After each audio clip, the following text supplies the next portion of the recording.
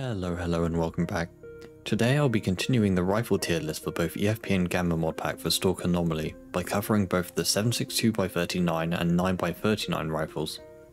If you have any feedback or questions, feel free to join me when I'm live on Twitch, link is in the description, or drop a comment down below.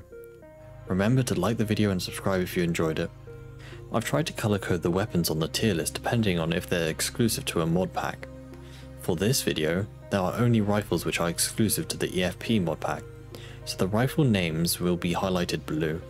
762x39 is quite a powerful caliber, being an upgrade from both 545 and 556.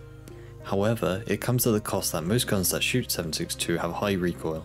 The two variants are FMJ and AP. The AP rounds are extremely powerful against armoured stalkers.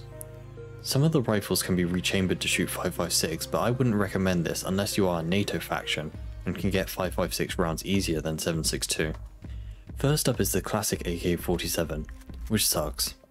The fire rate isn't bad, but you cannot attach a sight and the accuracy is very bad. The only reason why this gun isn't F tier is you can attach an underbarrel grenade launcher, so we'll go into D tier. The AK-103 has an OK fire rate and OK sights. You can attach it under barrel and the accuracy isn't the best, with a 30 round capacity this gun is rather mediocre and will go into B tier. The AK-104 is the same as the AK-103 but with no underbarrel and is less accurate so we'll go into C tier. A variant of the 104 is the AK-104 Alpha. This gun has a great sight selection and OK fire rate. The 30 round magazine isn't bad but the gun has quite high recoil so I'll put this gun into A tier. The AK-MN has an OK fire rate and an OK sight selection. It also can attach an underbarrel, however it has low accuracy making hitting long range shots hard so this gun will go into B tier. The CAA AK Alpha improves on the AKMN by having an even better selection of sights and a better accuracy. The fire rate is okay and so is the recoil. It is a good gun but doesn't have any really outstanding features, so we'll miss S tier and go into the A tier. Improving the AK Alpha even further is the RD47 ISG.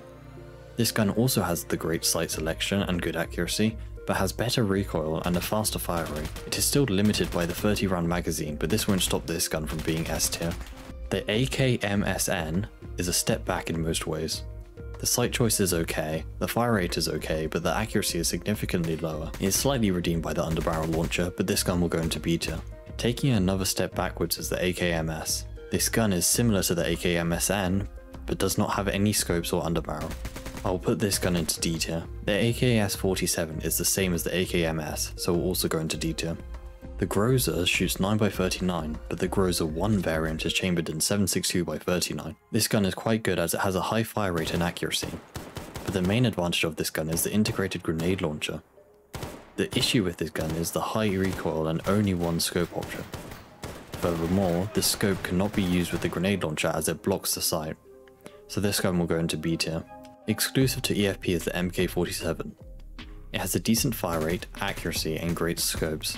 But this gun suffers from a lack of an underbarrel and high recoil, so go into A tier. Another EFP exclusive is the RD704. This gun is very similar to the MK47 as it has the same fire rate, recoil, and no underbarrel. This gun does have slightly less recoil, but is still too high for it to go into S tier, so the RD will go into A tier. I have already expressed my opinions on LMGs and Stalker in the 556 video, so I won't talk about it now. But the RPD isn't great. It has no sight options, and no underbarrel. The fire rate is average and the iron sights aren't the worst. This gun would be F tier if the iron sights weren't okay and the 100 round mag capacity. So we're going to D tier. If you decrease the mag capacity to 45 and make the iron sights harder to use, you get the RPK. Aside from the mentioned drawbacks, this gun is similar to the RPD. It is clear that this gun will go into F tier. Contrasting is another EFP weapon, STV 380. This gun has great sights. It also has a decent fire rate and accuracy. The magazine is even slightly bigger at 35.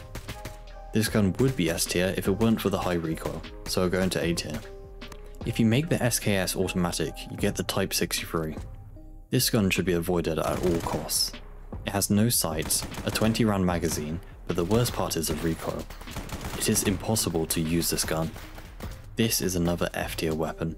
The last EFP exclusive and last 762x39 weapon is the VPO-136. And how else to end with another terrible weapon? It has no sight options, no underbarrel, bad recoil and low accuracy. And to make things even better, it is only semi-automatic. This is yet another F tier weapon. Now moving on to 9x39, this is a very powerful round. Its main advantage is its high penetration. There are two round types, SP5 and SP6, with SP6 having very high penetration, but the SP5 rounds will still go through most Stalker's armor.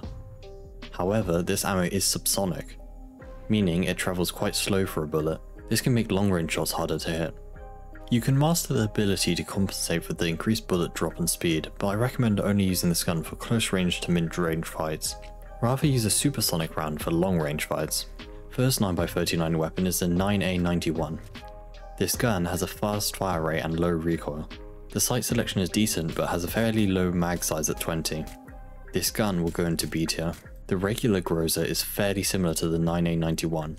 They both have a good fire rate and a 20 round magazine, but like the 7.62 variant, it has an integrated grenade launcher. But again, it only has one scope and the scope can't be used with the grenade launcher. I will also put this gun into B tier. Next is the ASVAL and ASVAL Modern. These guns have a high fire rate and low recoil. The accuracy is okay, but the magazine size is quite rough at 20, especially considering the fire rate. So these guns will go into A tier. The ASVAL Tactical is the same as the previous guns, it has a slightly worse selection of scopes, but now has a laser. This isn't big enough of a change to not also go into A tier though. With a fast fire rate is the SR3M. This gun has good accuracy and quite a big mag capacity of 30 for a 9x39 weapon. This gun would be S tier if it weren't for the poor sight options, so it'll be in A tier. The VSS is not a great rifle. It does have a high accuracy and low recoil, but only has a 20 round capacity. This gun is meant to be used as a DMR, but there are multiple other 9x39 rifles which do this better, so this gun will go into C tier. Speaking of doing the VSS's job better is the VSS Savant.